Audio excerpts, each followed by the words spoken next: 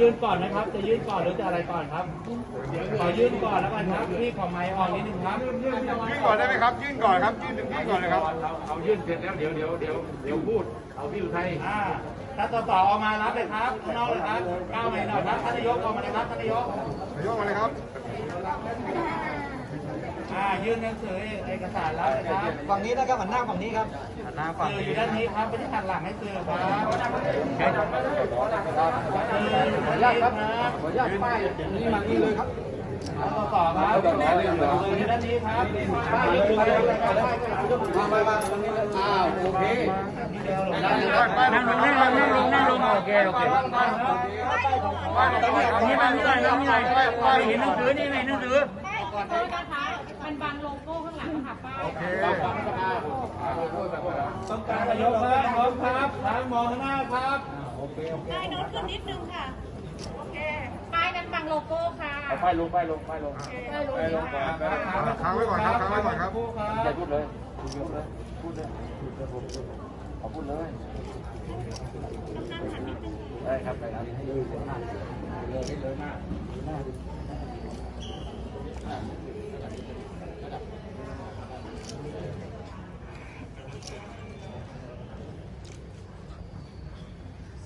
อ่าวันนี้แนะนำตัวแนะนำเอ่อผมพูดครับครับสวัสดีครับเอ่อผมพูดไทยชนะบางแก้ว นายกสมาคมทองไทยอ่า เพื่อการศึกษาและพัฒนาสาขาจังหวัดกระบี่นะครับ อ่า วันนี้มาพร้อมด้วยภาคประชาชน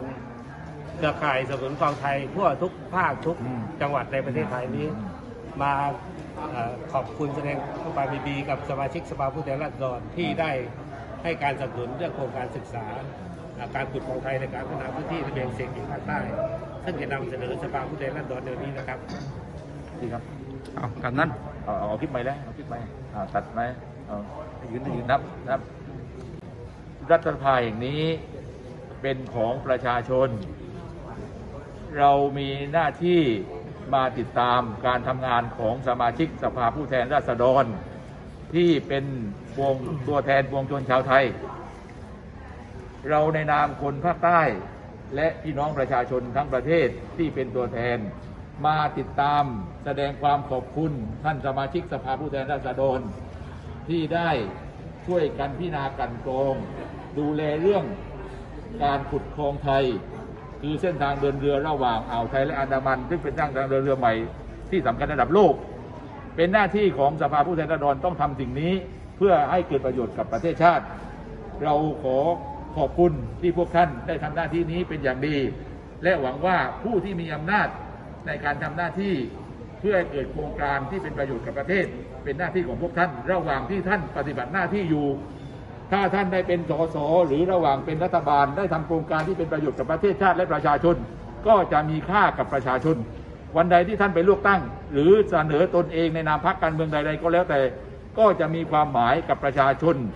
ในนามนโยบายพรรคของท่านที่สร้างเศรษฐกิจประเทศ เราประชาชนภาคใต้และพี่น้องตัวแทนประชาชนทั้งประเทศ รวมถึงกำนันในบ้าน เรามาดูว่าท่านได้ทำโครงการที่มีประโยชน์กับประเทศชาติแล้ว และขอขอบคุณพวกท่านที่ทำหน้าที่นี้เป็นอย่างดีเพื่อความเคารพครับเรียนท่านพิเชษฐ์พันเชื้อบังพานท่านสสสิริพงษ์เกี่ยวข้อง ท่านสสบุญญาพรนาปราธนพัฒน์ ตามที่ภาคประชาชนห้าในห้าจังหวัดภาคใต้ ได้รวมตัวการศึกษาและประกันโครงการกองไทย9เองตั้งแต่ปี 2559 จนได้ความเห็นชอบจากสภาผู้แทนราษฎร ให้แต่งตั้งคณะกรรมาการวิสามัญพิจารณาศึกษาการขุดกองไทย และการพัฒนาพื้นที่ระเบียงเศรษฐกิจภาคใต้ ตั้งแต่ 16 มกราคม 2563 นั้น ยังความปราบปลื้มยินดีให้แก่ประชาชนชาวใต้เป็นอย่างยิ่ง จนได้รับการขยายเครือข่ายสนุนคลองไทย ไปทั่วทุกภาคทั่วประเทศ ในรูปแบบสมาคมคลองไทยเพื่อการศึกษาและพัฒนา พร้อมทั้งยังเข้าคอยด้วยความหวัง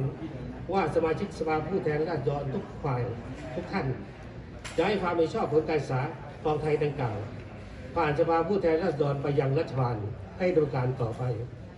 จึงขอความอนุเคราะสมาชิกสภาผู้แทนราษฎรทุกท่าน ไว้ในโอกาสนี้ด้วย การศึกษาคลองไทยในครั้งนี้คณะกรรมาการวิสามันซึ่งมีพลตรีตรงกฎที่เป็นประธาน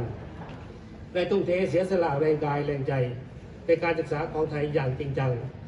จนทำให้ผลการศึกษาสำเร็จเสร็จสิ้นโดยสมบูรณ์ ถึงแม้พลตรีทรงกฎทิพยรัตน์จะเสียชีวิตไปแล้วก็ตามคุณงามความดีของท่านที่ได้ทุ่มเทศึกษากองไทย เพื่อประโยชน์ของประเทศชาติและประชาชน จะได้จารึกในความทรงจำของประชาชน อย่างไม่รู้ลืม และจะสืบทอดเจตนารมณ์กองไทยของท่าน ต่อไปจนกว่าจะสำเร็จ โดยเฉพาะท่านพิเชษเชื้อเมืองพาน ซึ่งรับหน้าที่ประธานกรรมาธิการวิสามันคนต่อมา รวมทั้งท่านสสสิริพงษ์เกี่ยวข้องสสบุญญาพรนาตาธนาวัฒน์ก็ได้แสดงออกถึงความมุ่งมั่นอย่างแรงกล้าที่นำผลการศึกษากองไทยในครั้งนี้ ให้ผ่านสภาให้จงได้ บัดนี้ กองไทยจะเข้าสู่การพิจารณาของสภาผู้แทนราษฎร ตามวาระที่กำหนดไว้แล้ว พวกเราจะได้พร้อมใจกันมาเพื่อขอบคุณสภาผู้แทนราษฎร ที่นำกองไทยมาศึกษาตามการเรียกร้องของประชาชนประการที่หนึ่งในประการเพื่อนำผลการศึกษากองไทยของภาคประชาชน ตลอดเวลา 5 ปี มาเรียนให้สมาชิกสภาผู้แทนราษฎรได้รับทราบว่ากองไทยคืออะไร ทำไมประชาชนจึงต้องการกองไทย ถ้ากองไทยเกิดขึ้น จะทำให้เส้นทางเดินเรือผ่านนิดโลก จากตอนตกมาตอนออกผ่านประเทศไทย สร้างผลประโยชน์ให้แก่ประเทศชาติ และประชาชนอย่างมหาศาล เช่นเดียวกับประเทศสิงคโปร์หรือเมืองท่าต่างๆทั่วโลกเพราะจะทำให้เกิดการพัฒนาประเทศในทุกด้าน ทั้งด้านอุตสาหกรรม การเกษตร การท่องเที่ยว และภาคบริการต่างๆ มากมาย ประเทศไทยจะเป็นศูนย์กลางการผลิโลกสินค้าของไทยทุกภูมิภาค จะมีท่องทางออกไปต่างประเทศได้สะดวกและรวดเร็ว ไม่ต้องผ่านประเทศสิงคโปร์เหมือนปัจจุบัน ในโอกาสนี้ภาคชนในนามเครือข่ายสนุนกองไทย ทุกภาคทั่วประเทศ ขอขอบคุณประธานสภาผู้แทนราษฎรท่านชวนดีไข่สมาชิกสภาผู้แทนราษฎรทุกท่านทุกภาคการเมือง ที่มีมติเป็นเอกฉันให้มีการศึกษาโครงการกฎของไทย แต่การพัฒนาพื้นที่กระเบียงเป็นสิทธิภาคใต้ จนสำเร็จรุ่ล่วงด้วยดีกราบขอบคุณ ท่านนายกรัฐมนตรีพลเอกประยุทธ์จันโอชา ที่ได้มีบัญชาให้สภาพัฒนาการเศรษฐกิจสังคมชาติ ศึกษาเปรียบเทียบการเชื่อมโยงเส้นทางการขนส่งสินค้า ระหว่างอันดามันกับอ่าวไทย ซึ่งกำลังดำเนินการอยู่ในขณะนี้ และหวังเป็นอย่างยิ่งว่าผลการศึกษาของคณะกรรมาการได้ผ่านสภาไปถึงรัฐบาลแล้ว จะได้เร่งรัดดำเนินการตามข้อเสนอแนะได้รายงานผลการศึกษาอย่างจริงจังต่อไปในโอกาสนี้ ผลการศึกษากองไทย โดยคณะกรรมาธิการวิสามันจะเข้าสู่สภาการพิจารณาสสในวันนี้นั้นสมาชิกเครือข่ายสนุนกองไทยทุกภาคทุกจังหวัด จะติดตามรับชมรับฟังการบายของ สสอยู่ทั่วประเทศครับ แล้วก็ในโอกาสนี้นะครับเเราก็หวังไปอย่างยิ่งว่าเมื่อกองไทยผ่านสภาแล้ว รัฐบาลจะตั้งคณะทำงานแห่งชาติขึ้นมาศึกษาโครงการกองไทยต่อไป โอกาสนี้ต้องกราบขอบคุณสสทุกพักทุกฝ่ายอีกครั้งหนึ่งกราบขอบคุณครับนี่ที่รัฐสภาขอบคุณตัวแทนคลองไทย ทุกท่าน โดยเฉพาะนำโดยท่านอุทัย ตัวแทนคลองไทยจากภาคใต้ ท่านกำนันนุชาจากกระบี่พี่ฟื้นจากนครศรีธรรมราชท่านปิยนุชท่านหลายท่านที่เอ่ยชื่อไม่ครบเนี่ยรวมถึงพวกผมกำนันบ้าน เรามาทำหน้าที่แทนพี่น้องประชาชนภาคใต้ที่มีความเห็นด้วยกับการศึกษาขุดกองไทยของรัฐบาล เรากำลังมาบอกตัวแทนของรัฐบาลที่เป็นสมาชิกสภาผู้แทนราษฎรว่า ระหว่างที่ท่านดำรงหน้าที่และมีหน้าที่ในการ ตามกฎหมายและบริหารการแผ่นดิน บริหารงบประมาณ เราอยากให้ท่านได้ศึกษาสร้างเศรษฐกิจประเทศไทยใหม่ โดยการทำเรื่องครองไทยให้เป็นเรื่องเป็นราว วันนี้กฎหมายกำลังเข้าสภา และวันนี้พี่อุทัยพร้อมสมาคมกองไทย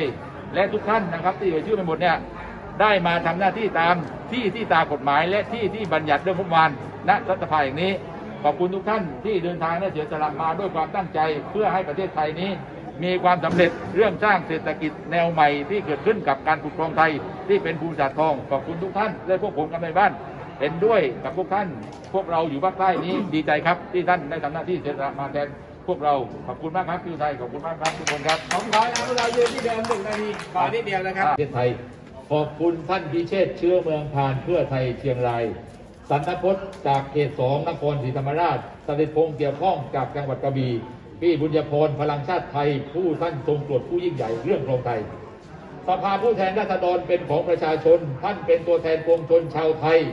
ที่ได้ทำหน้าที่สร้างชาติไทยให้เจริญ ขอครองไทยในช่วงที่ท่านเป็นสสอยู่ ขอครองไทยในช่วงที่ท่านเป็นรัฐบาลอยู่ ผมมาสองเรื่องเรื่องแรกครองไทยท่านต้องสร้างเศรษฐกิจไทยจะดี ในร่วงวิกฤตวิกฤตโควิดนี้ถ้ามีครองไทย ประเทศไทยจะมีบริษัททองที่ทั่วโลกต้องหันมามอง และประเทศไทยจะต้องมีรายได้ เราเชื่ออย่างนั้น ในนามตัวแทนกำนันผู้ใหญ่บ้านมาเรื่องที่สองเราอยากมีกำนันผู้ใหญ่บ้านในเขตกรุงเทพมหานคร เทศบาลเมือง เทศบาลนคร เทศบาลพัทยา และองค์กรปกครองรูปแบบพิเศษ โดยให้มีการเลือกกำนันแบบไม่มีค่าตอบแทน วันนี้มาเสนอท่านพิเชษเชื้อเมืองพานซึ่งเป็นคนเชียงราย แต่มาทำโครงไทยภาคใต้ขอบคุณท่านสสโดยเฉพาะท่านบุญญพล ภรรยาท่านทรงโปรดที่ทำหน้าที่ประธานกรรมธิการศึกษาเรื่องโครงไทยเป็นอย่างดี โดยถึงนาทีสุดท้าย วันนี้ขอบคุณท่านถึงพงษ์เกี่ยวข้อง ตัวแทนพรรคภูมิใจไทยที่รับเรื่องเราไปแล้ว ขอเชิญท่านกำนันมายื่นเรื่องให้กับตัวแทนพรรคพลังประชารัฐท่านสันนพจน์ไปดูเรื่องนี้ศึกษานะครับจากสันนพจน์เชิญครับพลังประชารัฐขอพรรคเพื่อไทยกำนันขอหนึ่งใบครับเอาเรื่องนั้นผมหมายว่าพรรคพรรคเพื่อไทยท่านพิเชษฐ์เชื้องพาเอกสารกำนันไม่เป็นไรนะ พรรคเพื่อไทยท่านพิเชษฐ์เชื้อพานครับเป็นกฎหมายครับท่านกำนันถึงไปนะไปนะอ่าท่านเสร็จแล้วอ่าท่านท่านท่านถือคงได้แล้วเชิญครับท่านดีพุทธเดี๋ยวผมให้ท่านครับเชิญท่านขอบพระคุณมากครับท่านครับ ครับก็กำลังจะขึ้นไปบนบัลลังก์นะครับ เพราะว่าเวลาก็ไม่มีแล้วนะครับก็จะพยายามทำหน้าที่ให้ดีที่สุดนะครับ ก็อยากจะอบอกทุกท่านว่าเราสสทุกคนนะครับ มีความยินดีที่จะ ทำให้เอ่อครองไทยผ่านได้ในวันนี้นะครับ เราจะพยายามทำหน้าที่ให้ดีที่สุด ปัญหาหรือจุดอ่อนต่างๆ ที่เขาจะสอบถามนะครับ เรา 49 คนพร้อมที่จะตอบทุกคำถามนะครับ ก็หวังว่าเราจะโชคดีครับขอบคุณครับหมอหลีตองดำอดีตนายกองค์การบริหารตำบลเข่งอำเภอเจ้าวัดจังหวัดนครศรีธรรมราช ก่อนอื่นขอขอบคุณท่านสมาชิกสภาผู้แทนราษฎรนะครับ ท่านยงยศแก้วเขียว ท่านเอ่อเครือข่ายสนับสนุนกองไทยทั่วประเทศ ที่เราเล็งเห็นถึงผลประโยชน์สุขของพี่น้อง ประชาชนคนไทยรักครองใจเกิด เราคิดว่าถ้าสร้างครองไทย แล้วก็ปลดหนี้ให้กับประเทศไทย เยี่ยมมากเยี่ยมมากครับขนะอบคคุรัณบมากครับท่านนายกขอบคุณมากแล้วพัฒนาชีวิตที่ดีให้กับคนไทย โอเคถ้าครองไทยเกิด อ่าประเทศไทยจะอยู่ดีมีสุข แล้วจะไม่เป็นหนี้ของต่างประเทศต่อไปโอเคขอบคุณครับ สวัสดีครับ เอาอีกนิดนึง ทองไทยเมืองทองไทยที่จะเกิดขึ้นในอนาคต ถ้ามันเกิดขึ้นได้ประเทศก็จะเจริญรุ่งเรือง ผมทำธุรกิจมานาน ก็โชคดีที่ท่านสสบุญญพรท่านทรงกฎได้เชิญเป็นที่ปรึกษา ก็เลยได้มาศึกษาในเชิงลึกของคลองไทย ก็คลองไทยควรจะเป็นเมืองที่ใหญ่ที่สุดของโลก และเป็นเมืองที่สวยงามที่สุดของโลกครับ แล้วสิ่งประโยชน์ต่างๆ ก็จะเกิดกับคนไทยครับ ครับเอ่อก็ขอเพียงแค่นี้สั้น ๆ นะครับ ขอบคุณทุกคนครับ ทุกคนกำนันที่ให้การสนับสนุนผู้ใหญ่บ้านทุกๆคนทั่วประเทศอยากให้ทั่วประเทศช่วยกันเป็นเสียงนะครับ ว่าให้คลองไทยมันเกิดช่วยกันศึกษาว่าถ้าคลองไทยเกิดท่านจะทำอาชีพอะไร มันจะมีอาชีพมากมายที่จะเกิดขึ้นในคลองไทยนะครับ ขอบคุณครับอีกขึ้นพี่ ขอบคุณท่านสมาคมครองไทยพลเอกกรุงเทพเทศประทีปท่านพลเอกประดิษฐ์ ท่านพลตรีสอนชัย ในนามสมาคมครองไทย ที่ส่งเครือข่ายพวกเราครองไทยวันนี้มาติดตามกฎหมายในสภา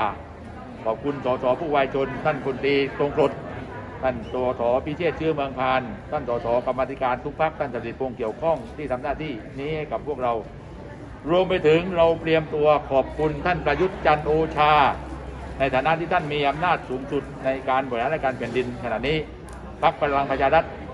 ที่ในนามเป็นพรรครัฐบาลแกนนำ เราคอยฟังนโยบายของท่านอยู่ ว่าท่านจะดำเนินการนโยบายนี้สำเร็จในช่วงรัฐบาลนี้หรือไม่ เราจะติดตามดูในตามนโยบายการเลือกตั้งอีกปีหน้าที่จะต้องเกิดขึ้น ระหว่างนี้ท่านมีอำนาจท่านได้ทำหน้าหน้าที่ดีที่สุดแล้ว ขอบคุณพวกท่าน ขอบคุณสมาคมกองไทย ขอบคุณทุกท่านพี่อุทัยด้วยครับ ขอบคุณมากครับได้แล้วกองไทยเพื่อการศึกษาและพัฒนาอ่าโดยท่านพลเอกพงเทพเทพประทีปให้มาทำหน้าที่แทนอ่าเอ่อสมาคมสาขาเอ่อ ทุกจังหวัดในประเทศไทยทุกภาคนะครับนะมาพบนะและให้กำลังใจสอสอนี้อืมสิ่งที่ผมอยากยังไม่ได้กล่าวเลยก็คือว่าในนามของนายกสมาคมคลองไทยเพื่อการศึกษาและพัฒนาต้องขอกราบขอบคุณเครือข่ายสมาคมคลองไทย ทุกสาขาทุกจังหวัดที่มาในวันนี้อืมท่านคือผู้เสียสละเพื่อชาติอย่างแท้จริงอืมพวกเราคือกลุ่มที่เรียกร้องเพื่อผลประโยชน์ของประเทศชาติ ไม่ได้มาเรียกร้องเพื่อประโยชน์ของตัวเรานะครับ เราอยากให้ ประเทศไทยของเรามีความเจริญอยากให้คนไทยทุกคนกินดีอยู่ดีอืมมีความสุขอย่างยั่งยืนไม่ใช่ชั่วครู่ชั่วยาม เพราะฉะนั้นเราจึงได้มาเรียกร้องให้ทางโครงการของไทย ซึ่งเราเข้าใจว่าโครงการของไทยเนี่ยจะเป็นโครงการที่ดีที่สุดในประเทศนี้ถ้าได้ทำการแล้วจะพาประเทศไทยและคนไทยทุกคนไปสู่ความสุขได้ แล้วเราจะต่อสู้เรื่องนี้ต่อไปจนกว่าจะสำเร็จ เราหวังว่าพวกเราเราหวังว่าพวกเราทุกคนเนี่ยจะรวมตัวกันอย่างเหนียวแน่นกอบกลุ่มกันไปแบบนี้จนกว่าของไทยจะสำเร็จ ขอให้ทุกท่านนะเมื่อเสร็จภารกิจแล้วก็เดินทางกลับบ้านด้วยความปลอดภัย แล้วก็ฝากมายังสมาคมกำนันเวียนเอกประเทศไทย ภายใต้การนำของท่านกำนันยงยุทธเกศเขียว เราเห็นแล้วมีความภาคภูมิใจมาก เรามีผู้นำเข้มแข็งอย่างท่านกำนันยงยศทำให้สมาคมเอ่อกำนันเวียนบ้านแห่งประเทศไทยเนี่ยเป็นสมาคมที่มีเกียรติมีศักดิ์ศรีและเป็นที่น่าเคารพ นะนับถือของเออทั้งภาคนักการเมืองภาคราชการและภาคประชาชนผมคิดว่าท่านคือองค์กรที่ดีที่สุดในสายตาของผมวันนี้คือสมาคมกำนันเวียนบ้านภายใต้กำลังของท่านกำนันยงยศเอ่อเราขอให้ท่านได้เอ่อเป็นแรงใจในการมาเดินเคียงคู่กับสมาคมกองไทยถนนกองไทยต่อไปนะครับขอบพระคุณมากครับพี่พี่เอาเอาพี่พื้นมาพูดเอาคนละคลิปกันคนละคลิปกันเดี๋ยวเดี๋ยวพี่กำนันท่านนายกเดินพูดเอาพูดเลยขออนุญาตอ่าด้วยว่า ผมร้อยตรีฟื้นทองเพื่อนะครับ ประธานเครือข่ายสนับสนุนคลองไทยอ่า อำเภอชะอวด อ่า ได้จัดทำโครงการอบรมทายาทคลองไทย เพราะผมเชื่อว่าหลายๆท่านนี่กำลังมองว่าคลองไทยอาจจะไม่ไม่ได้เนี่ยอายุตอนนี้ผม 60 กว่าปีแล้ว อยากจะให้มีทายาทคลองไทยเกิดขึ้น เพราะว่ามันจะสำเร็จได้ต้องมีการสร้างเครือข่ายผู้สนับสนุนคลองไทย ฉะนั้นถ้าไม่รุ่นนี้ไม่สามารถสร้างได้ก็ต้องรุ่นต่อไป ตอนนี้กำลังจะเกิดการอบรมทายาทคลองไทยขึ้นที่อำเภอชะอวดจังหวัดนครศรีธรรมราชนะครับ แล้วเราก็ขยายไป 5 จังหวัดที่เขตคลองไทยภาคกลางก็คือสงขลานครศรีธรรมราช พัทลุงตรังและก็กระบี่ต่อจากนั้นเราก็ขยายไปทั่วประเทศทั้ง 77 จังหวัด ก็ขอเชิญชวนนะครับพ่อแม่พี่น้อง ชาวคลองไทยทุกท่าน เตรียม คนไว้เพื่อที่จะให้ความรู้เรื่องโครงไทยให้กับเยาวชนนะครับ โดยเฉพาะเยาวชนแล้วก็ใครก็ได้ที่มีความสนใจเรื่องการรักษาผลประโยชน์ของประเทศชาติ ที่ท่านกำนันยงยศแก้วเขียว ท่านอุทัยชนะบางแก้ว แล้วก็ท่านลืมไม่ได้ก็คือท่านสิทธิพลเจริญขจรกุลนะครับ ท่านก็พยายามที่จะสร้างผังเพื่อที่จะ สื่อการเรียนรู้ให้กับทุกคนนะครับ ขอขอบคุณมากนะครับ อย่าลืมว่าทายาทของไทยจะต้องเกิดขึ้นในประเทศไทยนะครับ ขอขอบคุณครับสวัสดีครับเอาท่านนายกนายกต้องติดก่อนนายกต้องตินมาพูดไม่ไม่ยาวนะ คือต้องพูดไม่เกินหนึ่งนาที เพราะจะได้